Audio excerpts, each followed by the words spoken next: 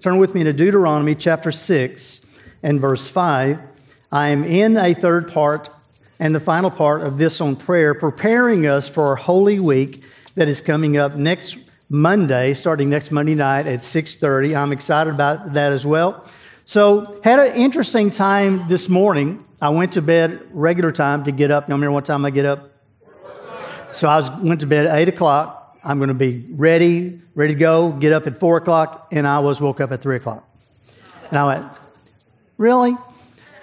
So I went down, got my cup of coffee, and I sat down. I said, So what am I doing at three o'clock in the morning? And that's just what I heard the Lord say. The Lord said, I'm going to give you seven pages of notes that you're, that you're going to prepare.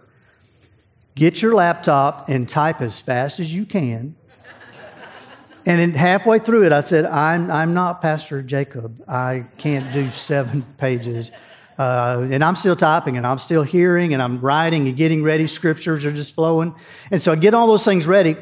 So I got it all ready, started praying over that. I said, wow, I don't think I've ever preached a seven page message. On a Wednesday night, I'm going to be able to preach for about three hours tonight. Hallelujah.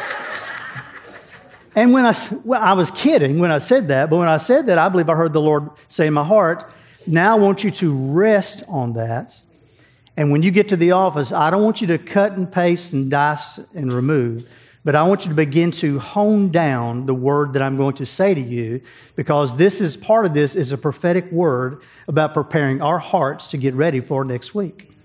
So I did. So when I got to the office, I, I rested and I, and I prepared, and my, my seven pages of notes and scriptures went to two. And I said, wow, I don't think I've ever been edited quite that much. Lost five pages of notes and scriptures. So, so I told the Lord, I said, so, so seven, seven to two, wow, so two pages. So what would be the title? Now, this is good if you're ever going to be preparing sermons or messages or teachings or Bible studies. Here's a good place to start. You save your title for last. So I did. I said, so what would you like for me to call this message tonight that I'll be bringing? And the name of the message tonight is called Undivided. Undivided. And through the two pages, I'm going to give you 11 verses of Scripture. We're going to talk about what does it mean in preparing our heart that we do not have an undivided heart, but we have a, a heart that is prepared and that is, is correct and is postured and poised I believe with all my heart that many times the Lord is saying things to people and they're not hearing it. Did you hear me? Yes. It goes right on by. And there's many ways that he can do that. He can do that through other people. He can do that through prophetic words. He can do that also through when the Holy Spirit speaks to us. It can be through promptings, impressions, thoughts, ideas, those things. Even the word of knowledge that, that I had for that whoever that person is, maybe for a few of those, but Specifically, I heard it for, a, for a, one person, and I actually felt the pain in that spot that I pointed to, and I felt my eye twitch is a reason that I knew. So my word of knowledge was not just a thought or an idea or a phrase, it was actually felt that part. And so as I began to say that to this, declaring it in the body, that thing that was happening to me stayed with me till I said it, and when I said it, it left. Which is an affirmation that the Lord is going to heal whatever that is that's happening in that person's uh, location I gave you. So, what does it mean to have undivided hearts? Jesus said that no one can serve two masters, for either he will hate the one and love the other, or he'll be devoted to one and despise the other. That's Matthew 6 24. So it's possible for us to be in a place where our heart gets divided. So I looked up a, a couple of definitions, and so this is what I found. What is a divided heart? Simple definition is that a divided heart describes the person who is in love with two people. When Pastor Jacob touched on Sunday morning about there being idolatry and wickedness, idolatry in our world today is when we have anything that comes between us and God is considered idolatry. Definition of, of that divided heart is when you're trying to love two people. How, has anybody ever struggled besides me of trying to love yourself and God at the same time?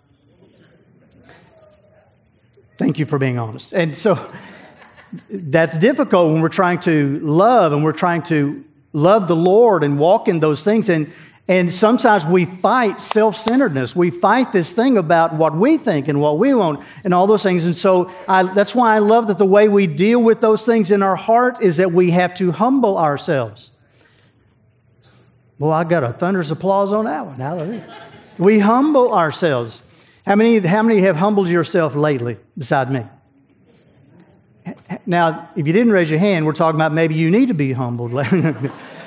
that we're going through these. And so in the word it talks about in James, James said that we're to humble ourselves in the sight of the Lord that he can lift us up. So part of the thing that God gave us to do is to humble ourselves. Listen, if we humble ourselves, then God promotes us. But if we promote ourselves, then God humbles us. I'll say one more time. If we're trying to just promote ourselves all the time, then we actually take away God's job. And if we take away God's job, then God's without a job, so God takes our job. and He humbles us. So we all need to keep our heart right. And part of that way that that happens is by keeping ourselves in this place of humility. Undivided is defined in the dictionary as not divided uh, just into parts or groups, but concentrated on one idea or object is what undivided is. Synonyms for undivided hearts are whole, entire, exclusive, concentrated, deliberate, undistracted, wholehearted, where I'll be tonight, single, steady, unbroken, full, intent, unswerving.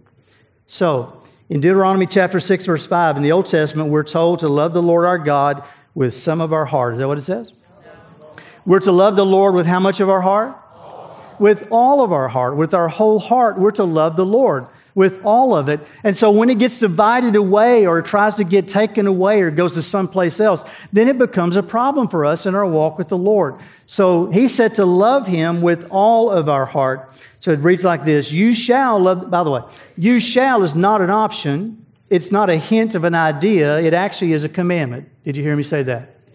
So he's telling us you really don't have an option this. I'm telling you what you need to do in order to keep your heart right. He said that you shall love the Lord your God with all your heart, with all your soul, and with all your strength. In the New Testament, Jesus quoted it as the number one commandment is this You shall love the Lord your God with all your heart, all your soul, all your strength, all your mind. And the second like unto it is you shall love your neighbor as you love yourself. Matthew 22, 37. So, in all of my introduction about that, knowing that we're going into Holy Week, what's the number one thing we have to stay focused on is keeping our heart right. Making sure our heart doesn't get captured by other things, taken away by other things. Making sure that our heart stays together, not divided. An inter- interesting fact did you know that your natural heart is divided into four chambers? Y'all are nodding. Y'all knew that. Very good. I didn't know that. And did you know that in your heart that you have a muscle that goes down the center of your heart that keeps those parts of those heart working right? Boy, y'all are nodding your head. Y'all, y'all already studied this out. there's a heart, there's a muscle that does these things. So the function of the heart is part of it is taking and dealing with oxygen in the blood, and part of it's dealing with the other parts and pumping it out in our body. I believe the same way that the number one thing that the enemy sets as a target on you and I is to take it's not just about us being in church. He don't mind us being in church. But if our heart's not there, he don't mind us being in the Bible and reading the Bible, but if our heart's not there. He doesn't mind us being around brothers and sisters, having fellowship one with another, as long as our heart's not there. So it's important that we work on that part of our hearts and make sure that we're pumping and we're breathing and we're loving and all those things like we are supposed to.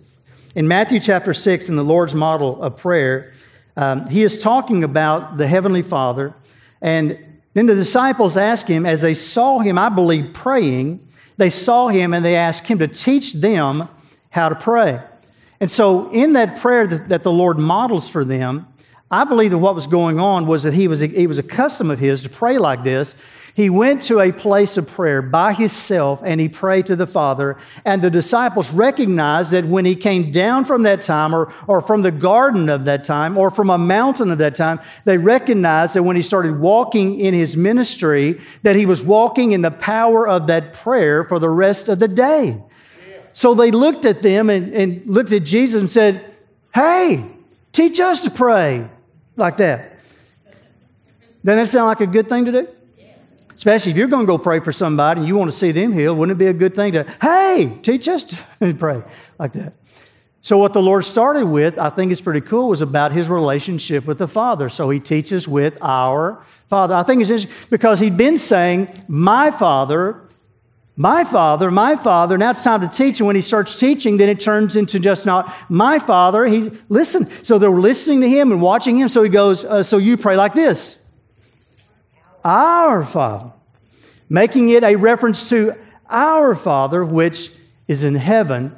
Then he uses this kind of weird name, weird term, and he says, Hallowed be thy name. How many know what hallowed means? Holy? Hallowed mean? It got too close to being Halloween for me, it threw me off. Hallow, hallowed. It's weird. So, what does hallowed mean? It means that we want to make sure that we're going to reference the name of the Lord reference the name of our Father that is always something special because He is holy. So we're keeping that right with us. That's what he's talking about in the hallowing of his name. Psalm 86, verse 11. You want to turn there? Psalm 86, verse 11. In Psalm 86, 11, it says, To teach me your way, Lord, that I may rely on your faithfulness, give me an undivided heart then he says, that I may fear or that I may respect or reverence your name. One of the things that is missing in the generation that we're living in, and maybe the generation before our generation that we're living in, is people, a lot of people have lost their fear or respect of God.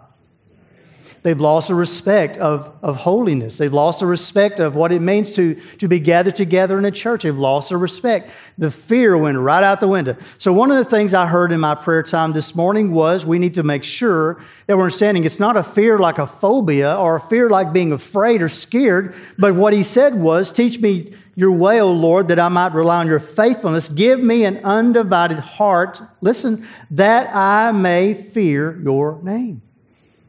So is our heart right? So one of those checks for us is are we reverencing, respecting, honoring, loving the Lord? And if we're not like we need to be, then that's one of the checks we need to check on getting our heart uh, to that undivided place. Ezekiel chapter 11, verse 19 says, I will give them an undivided heart, and I will put a new spirit in them. I will remove from them their heart of stone, and will give them a heart of flesh that happens whenever we become born again. When the Lord comes to live inside of our heart, when we became saved, that's what exactly is what happened. We got a brand new heart. 2 Corinthians 5:17 said that we became a brand new creation. Old things passed away and all things became new. So he began to work on some things and so we you didn't know it, but you had a spiritual heart transplant on the day that you became born again. The stone was taken away from you and he gave you a heart of flesh, something that can, that can move, something that you can feel. It should be when we're talking about the presence of the Lord in the house that we are all able to sense and recognize the presence of the Lord is in the house, right? So having a heart for that is recognizing that, man, the Lord is here. There's actually a verse in the Bible, I don't have this one written down, but there's a verse in the Bible that says that the presence of the Lord was there and they did not know it. Well, thank you, Jesus. That's not victory life. That when the Lord is here, we sense His presence, we know He's here, we know that His presence is here, and so that's, that's important. In 1 Chronicles chapter 28 and verse number 9, 1 Chronicles 28 9 says, and, he, and to Solomon he said, My son, I charge you to acknowledge your father's God and to serve him with an undivided heart and a willing mind. He knows all our thoughts and desires. Listen to this next part. If you go to him, he will accept you. I heard that as a prophetic word as I was finalizing and getting ready for tonight. That if you go to him, remember last week was part of the prayer is that we need to be people that ask God. God wants us to ask Him. He wants us to talk to Him. He wants to be able to answer. Somebody I heard about before service said that they were believing God for a car and, and asked God for a car. They wanted to be blessed of the Lord and God, I need a car. And you know what happened? They got a car. Hallelujah. It ought to be like that. That we ask. If you ask not, you. But if you ask, you receive. Right? So that's part of this blessing. Hallelujah. All right. If you go to him, he will accept you. I heard it prophetically that there's also somebody, that maybe a few somebodies, that's going to be in the room tonight. And so you're wondering if God even hears you anymore. And the answer is that he does. If you go to him, he will accept you. And what the enemy would love to do is just keep you driven away, making you lonely, making you sad, trying to deflate your hope. And yet, if you go to him, he will accept you. And so that's part of a fear that the enemy tries to use on us as well is that God doesn't care, he's not listening, he's not paying attention. I used to say he's looking at China when he ought to be looking at America. but that's not true. According to the Bible, God is every place. I can't wrap my brain around this, but God is every place at the same time. Theologically, it's called that He is omnipresent. He is all present. I don't know how, but he's every place at the same time. I don't know how, but he is. Oh, and a cool fact also this morning in prayer, the Lord said, By the way, I'm the only one, human beings can't, but I'm the only one that can step out of time and I can look at time from the beginning to the end. I said, I, I read that. I, I know that. And, and I heard the Lord say, Back, I believe in my heart this word. He said, But do you know why I can say that Jesus is the author and the finisher of your faith? is because he also sees this, and that's why he encourages you, because he not only sees your beginning, he also sees your ending. Listen, and he is the author of your faith, not you. He's the author of it. He's the one that gets to describe. So when you talk about things that you feel down and depressed and all those things that going on and tr- gloom, despair, and agony on me, deep, dark depression, excessive misery, hee haw moment, yeah. If it weren't for bad luck, I'd have no luck at all gloom, despair, and agony on me. well, that's a sad tune, isn't it? I mean, you watch much of that stuff, you're going to get gloom, despair, and agony. that's a mess. So I believe the Lord wants us to hear that word about accepting. If you go to Him from the Bible, He will accept you. 2 Kings chapter 20, verse 3.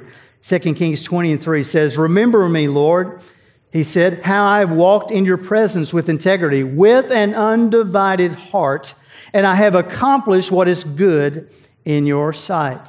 In Second Chronicles chapter 9, verse 19, verse 9, these were his instructions to them. You must always act in the fear of the Lord with faithfulness and an undivided heart. Hallelujah. Psalm 138 1. So, what does it mean to have this undivided heart? I believe it's the same parallel with another couple of words, and that is the word a whole heart. That we need to have a whole heart. So, we don't need to have divided heart, we need to have a whole heart. So, I want um, in this next section to talk about three verses of Scripture and what does it mean to have a whole heart. In Psalm 138, verse 1, Psalm 138, verse 1 says, I will praise you, listen, I will praise you with my whole heart. That's one thing I love about praise and worship in our, in our campus. I love praise and worship. To hear that when we're singing, and we're singing with our whole heart. And you don't have to be loud to do that. Did you know that? But you do know you need to sing if you're going to sing. Hallelujah. You don't sing in your head. it needs to come out your mouth, right? Okay, I'll go to this side. so when we're going to sing, we need to sing with our whole heart.